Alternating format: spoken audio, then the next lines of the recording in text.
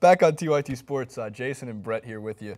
So, uh, Brett, I have to enlighten you on this because I had the whitest sports argument in the history of sports Oh arguments. God, I can't wait. Francis and I were trash talking ahead of the Ryder Cup.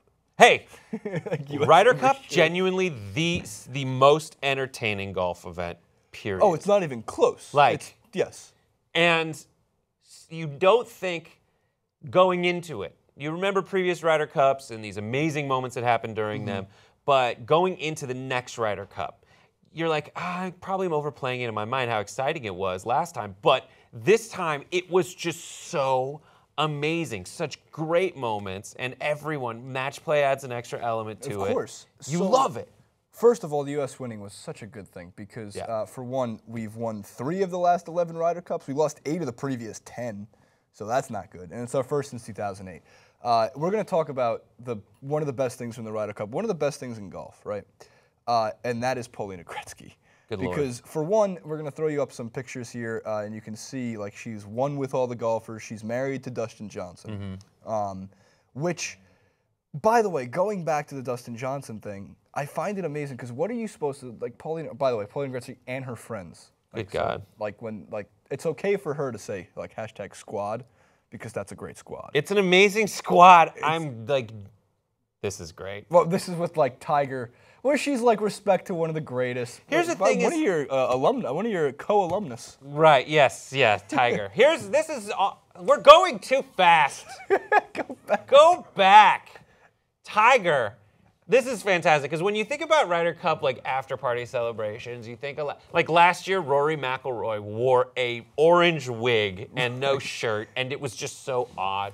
Here's Tiger being like, uh, "I'm not allowed to be uh, enjoying myself here. Uh, just gonna have a Coca-Cola and uh, be near Paulina." I get there's remembering the probably no days." alcohol in that.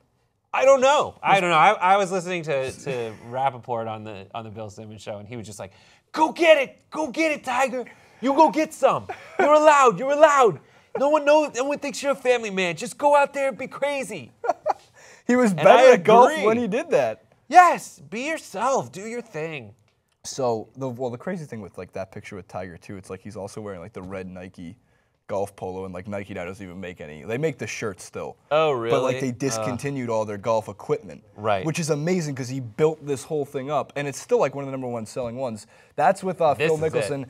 Philly gets crazy, by the way. Philly and his wife. I don't know if it was ever proven to be true, but like this swinger, you know. So I heard about the swingers thing. On top of that, like Phil Mickelson, I know a lot about golf because I love golf. Uh, and one of the, and we don't talk about it that much, but one of the crazy things with Phil Mickelson is that he's like the best money golf player, like in the world, in the history of like playing for cash outside of a tournament.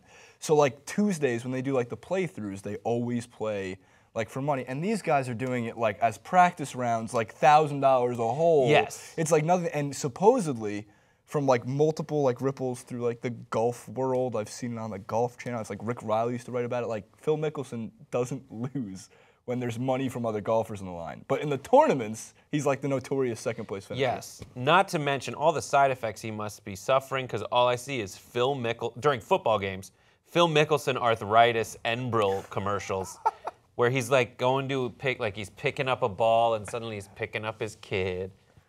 And it's just like a nice montage. yeah, his his butt's falling out his ass because he's got you know I don't know because he has psoriatic arthritis. I don't know some weird stuff. I don't know how that's possible. His butt's falling out his ass. Yeah, I don't know. I? I'm just citing the side effects of Enbrel or Olestra. I forget which one he does. I think it's Enbrel. Um, Fascinating. More. Uh, so with the loser, Rory. Rory McIlroy can't even be mad yeah, because he's with Paulina Gretzky. she's amazing. And then she's there was the great uh, one. uh, TMZ Sports aptly naming, I think the next one, Baywatch. Like Where is it? B A E Watch. Baywatch. She's I on don't the right. even know. I really want a tequila sunrise now. In the wake of the Billy Bush thing, I don't know how to act right now. like I don't know what the appropriate thing is to go. Is like say it's it is another. Well, uh, the Eagles. I love the It's band. very, the it's very PC. It's a one piece. It's Oh, like I love acceptable course of like across America. Here's the thing, is like golf life is the best life. It is. You're just traveling around, and for him, it's like really Dustin stress Johnson? for Dustin. It's Yeah. really stressful, but you know, by nature, is talking about how Phil Mickelson plays for money and Right, likes right. to take down that cash. Like super competitive individuals. Right. On top of it, so with the Ryder Cup, I make this point every time I talk about the Ryder Cup. Like, there's articles you can read and stories, again, like Rick Reilly, who's your caddy type of thing, where guys that play on a team setting in golf because they're never used to that are like like Lee Westwood puking before the Ryder Cup starts because they're like, if I mess up, it's not just on me, it's on Europe. Yes. and that's like a, to them, it's a huge deal. And I can't imagine like now arriving to the tee box, like just like a little bit of throw up, like right before he tees off. Like I just can't see it that way. To me, it's not like the Super Bowl, but to these guys, it is. But I love I love how the the part the after party of the Ryder Cup is so traditionally Well, well, you would think my mental image of it is the like what they do with Billy Madison when he first shows up, and Shooter McGavin like tells Mm-hmm. him about the 19th hole, and like the whole like they're all having drinks, they're all in like suits and Oh, ties. and it's a bunch of like Scotsmen and Irishmen and English dudes who are just white getting people. It's all it is. It's country club white people. That's what they were making fun of, at least in Billy Madison.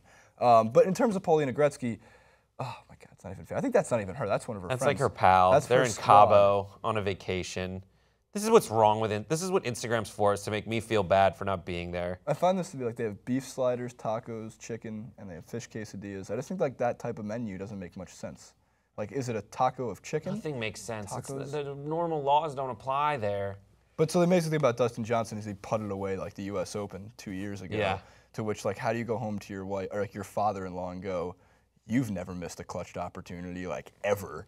I'm sure he had. Like, you're the And greatest like, hockey player of oh, all sorry, time." it was an 18 million dollar purse. So instead of 2.1, you took home 1.4. Right. That's true. That's true. That's all right. I don't know if you're gonna watch one. There's just one amazing moment in time at the after party for the for the Ryder Cup. There's an interview with Jamie Donaldson like after, like the day after. about, yeah.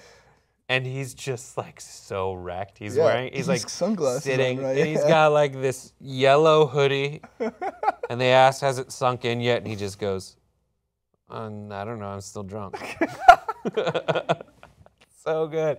Gotta love the Ryder Cup. That's one of those things that you can, because there's always like someone who it's their first time on the Ryder Cup and they have to Mm-hmm. step up or they don't, and there's so much. It's like you're managing like your pitching staff, who are your ma- and your your lineups to see who's tough. matching up against who.